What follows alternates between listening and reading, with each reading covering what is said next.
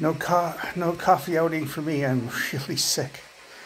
Uh, I think the uh, the wings did me in. They didn't taste quite right. And they were kind of really chewy. Uh, I think they've killed me. Yep. I think I'm uh, food poisoned. I'm pretty damn sure of it. My stomach is severely upset. I just uh, had the squirts in the bathroom and I have a very bad headache. So, yeah, pretty much food poisoning.